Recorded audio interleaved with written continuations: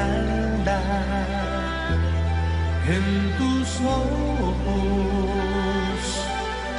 la noche y el día, uno son. Esmeralda, flor del campo.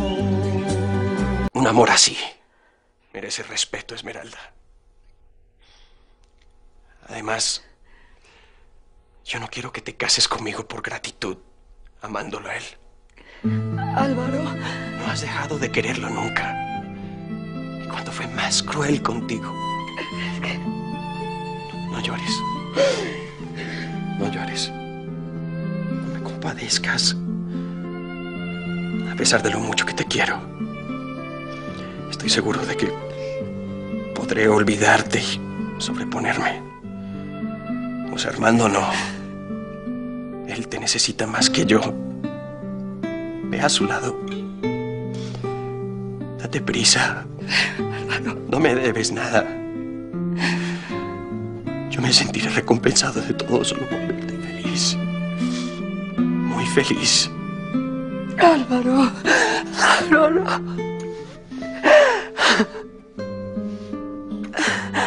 Álvaro, yo no puedo dejarte. Te debo mucho, no puedo. No eres tú quien me deja, Esmeralda. Soy yo. Es tu felicidad. Álvaro, Después de todo, puedo esperar que algún día una mujer se enamore locamente de mí, ¿no crees? No soy tan antipático ni tan mal parecido que digamos. estás bromeando para que yo no me dé cuenta de lo que sufres. Sufriré un tiempo. De otra forma, sufriríamos los dos. ¿Tú crees que no me hubiera dado cuenta después? Hay cosas que no se pueden disimular, Esmeralda. Y tú sigues amando a José Armando con toda tu alma. Te quiero. Y te respeto, Esmeralda. Pero me respeto lo suficiente a mí mismo para unirte a mi vida queriendo a otro. Álvaro. Recuerdo el día que me operaste. Cuando mis ojos se abrieron a la luz por primera vez. El primer rostro que vi fue el tuyo. Puedo ver, doctor. Puedo ver, doctor. Olvides esas cosas cuando seas feliz. Yo tampoco las olvidaré. Álvaro, no quiero que sufras. Voy a tener el consuelo más dulce que hay. Saber que te he hecho feliz. Álvaro.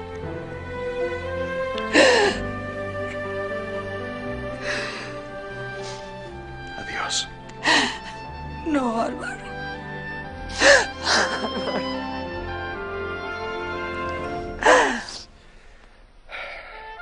Quédate aquí. No te muevas. No quiero que me acompañes.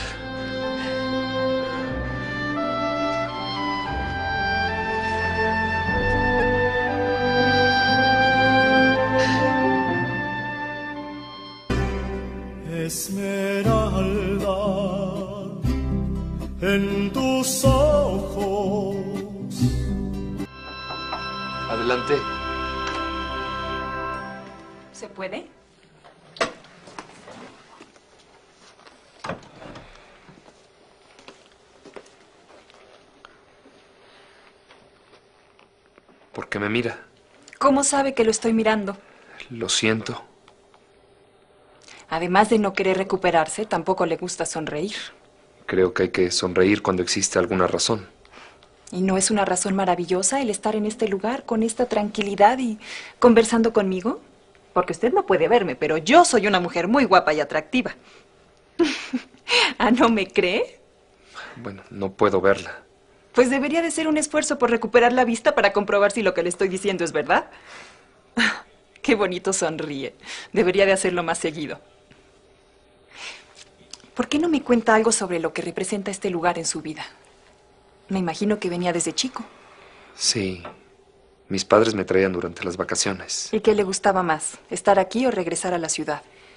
La ciudad es fascinante. Pero cuando llegaba a la casa grande ya no quería irme de aquí. Seguramente porque aquí nací y de aquí fueron mis padres. Ah, ¿son de aquí los señores Peñarreal? No.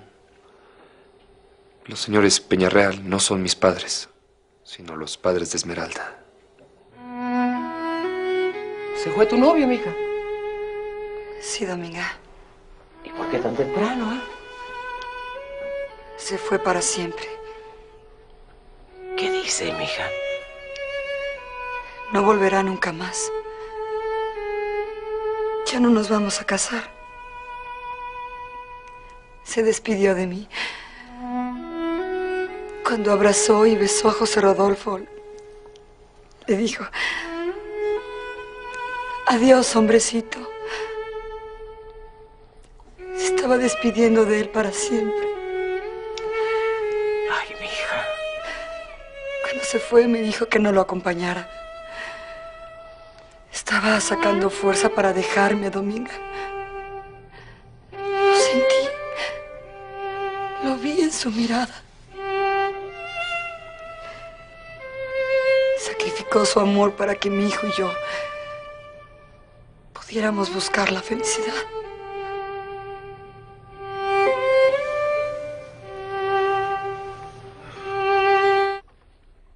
Mm, qué buen cafecito, Aurorita. Esa cafetera que te regaló Esmeralda hace buen café. ¿De veras está bueno, papá? Bueno, de verdad. ¿Y tú no tomaste, mija? Ay, no, desde hace unos días como que no se me antoja para nada. Como que se me revuelve el estómago. ¿Con el café también? Porque ayer me dijiste que no podía soportar el olor de la manteca. Parece que comí algo que me cayó mal.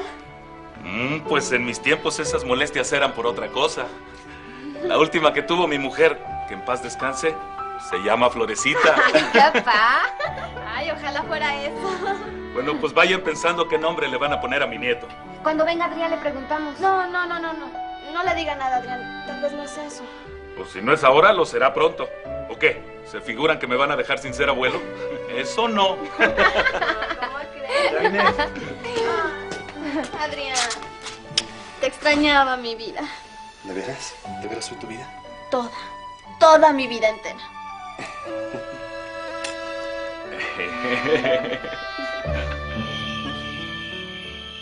Creo que ya debo haberla aburrido con toda esta historia. No, no, para nada. Al contrario, me parece fascinante. Quizá estos sean los últimos días que pase aquí. ¿Por qué? Tal vez cuando Esmeralda se case, quiera venir a conocer el lugar donde nació. Y donde ustedes se conocieron. Ella es dueña de todo esto. Yo no tengo ningún derecho para estar aquí. ¿Sabe una cosa? Me gustaría conocer a Esmeralda. Cálmate, Esmeralda. Cálmate. Has tenido mucha suerte, mi hija. El doctor Lascano de veras que te quería harto. Mira que adorándote te deja libre para que seas feliz con el otro. Ay, Dominga, ¿qué voy a hacer? Pues vete con el doctorcito José Armando, mi amor. Busca tu felicidad. Segurito que él te necesita. Ay, a lo mejor lo que necesita es eso. Que vaya para que él vuelva a ver.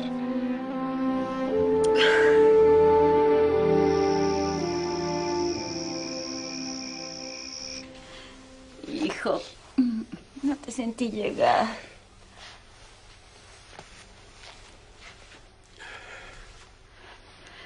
Te tengo una sorpresa. Yo también, mamá. Yo pensé que Álvaro se quedaría a cenar con nosotros, ¿no? ¿Qué sucede, hija? ¿Has llorado? Discutiste con él. Entonces, Terminamos, papá. No nos vamos a casar. ¿Pero por qué, hija? ¿Cuál fue el motivo? Él comprendió que al que amo es a José Armando.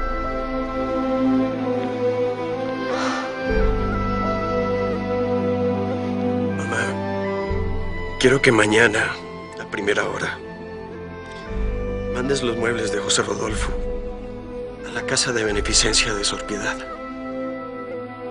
Ya hacen más falta. Pero, hijo. También tendremos que avisar a todos los invitados y ofrecerles una disculpa. Álvaro, por Dios, ¿qué estás diciendo?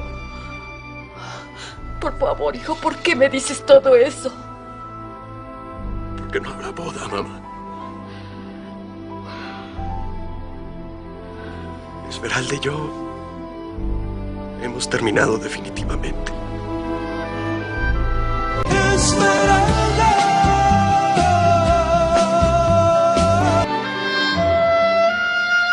Todos te aconsejamos que hablaras con Álvaro, que no te casaras con él sin amarlo.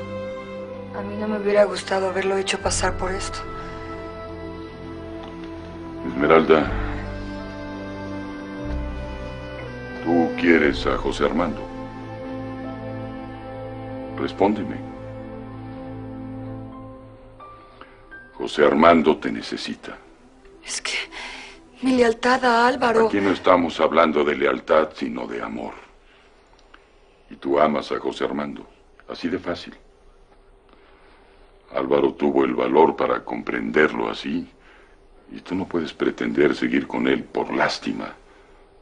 Eso hiere su orgullo de hombre, no te das cuenta. Tienes derecho a tu felicidad, hija. Ya has sufrido bastante. Además, no se trata de ti solamente. Está José Armando y el niño. Él es su verdadero padre.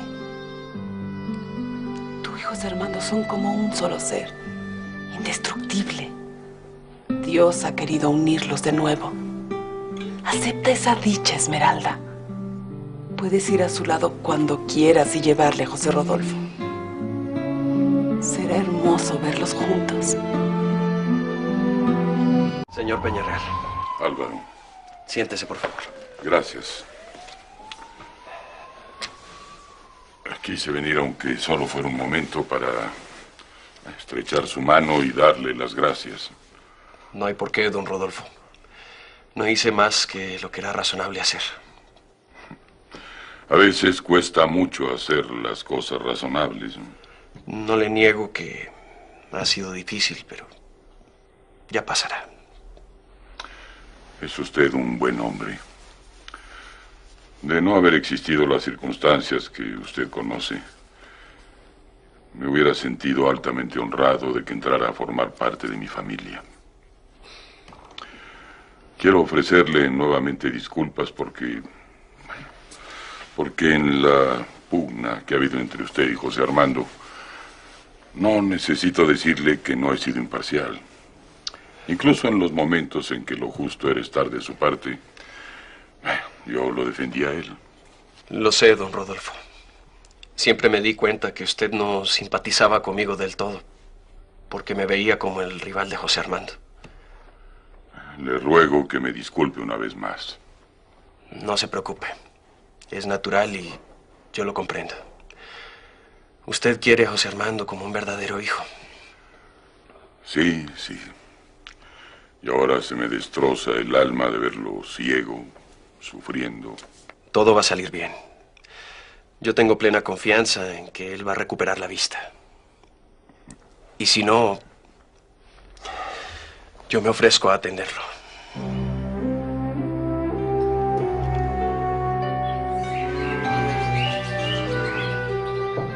Te lo decía, que no era para tanto la cosa. En el primer momento sentí un poquito de miedo, pero después ya se me quitó. Bueno, claro, además eso es natural. ¿Qué tal resultó montando a caballo, eh? Muy bien. Agarró la rienda con mano firme y le hizo sentir al caballo que ahí la que mandaba era ella. Y bueno, a buen paso nos dimos un paseíto alrededor de los corrales. Ay, yo sabía que mi cuñadita iba a salir bien buena.